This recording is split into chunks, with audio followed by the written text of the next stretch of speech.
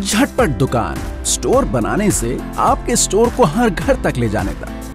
Big bless big bless, हर कारोबारी की खुशियों की चाबी, खुशियों की अपनी दुकान।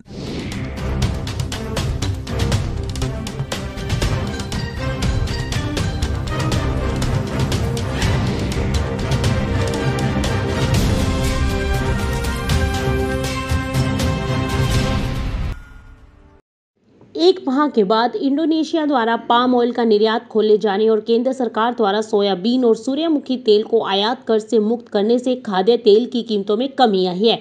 वहीं रांची में दो दिन में ही पाम, सोयाबीन और सरसों के तेल आठ रुपये प्रति लीटर तक सस्ते हो गए हैं। वहीं कीमत अधिक होने से डिमांड में कमी की वजह से भी कीमतें घटी हैं। अभी पाम और सोया ऑयल के भाव पंद्रह रुपये लीटर तक सस्ते हो चुके हैं। सरसों तेल दस रुपये लीटर तक घट गया है। एक्सपर्ट्स का कहना है कि सप्लाई बढ़ने से देश में खाद्य तेलों के दाम आगे भी घटने की संभावना है। इंडोनेशिया से दो लाख टन कच्चा पाम ऑयल की खेप सोमवार को भारत के लिए रवाना हो चुकी है। इस हफ़्ते के आखिरी तक पहुँच जाएगी। वहीं मालूम हो रहा है कि रांची में 15 दिन पहले सोयाबीन तेल 190 से एक रुपए प्रति लीटर तक बिक रहा था। अब उसके भाव घटकर 175 से 180 रुपए प्रति लीटर तक पहुँच गए हैं। पाम ऑयल 155 से 160 रुपए प्रति लीटर पर आ गया है और वहीं सरसों का तेल 170 से एक रुपए प्रति लीटर तक मिल रहा है। यदि पाम ऑयल के दाम घटते हैं तो न सिर्फ़ तेलों की महँगाई से राहत मिलेगी, बल्कि अन्य पदार्थ भी सस्ते होते दिखाई देंगे, जैसे कि साबुन, शैम्पू, बिस्किट और चॉकलेट। वहीं जानकारों का कहना है कि इस वर्ष देश में सरसों का उत्पादन अच्छा है और बीज सस्ते हुए हैं।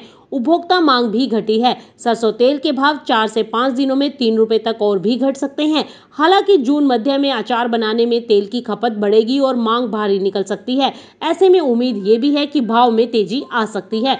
वहीं बाज़ार जानकारों का कहना है कि सरकार ने क्रूड सोयाबीन और सूर्यमुखी तेल पर इम्पोर्ट ड्यूटी और एग्रीकल्चर इंफ्रा डेवलपमेंट सेस पर छूट का ऐलान किया है। ड्यूटी मुक्त आयात की सीमा 20 लाख मीट्रिक टन तेल प्रति वर्ष रखी गई है। इंडोनेशिया से आयात शुरू होने से भाव गिरे हैं।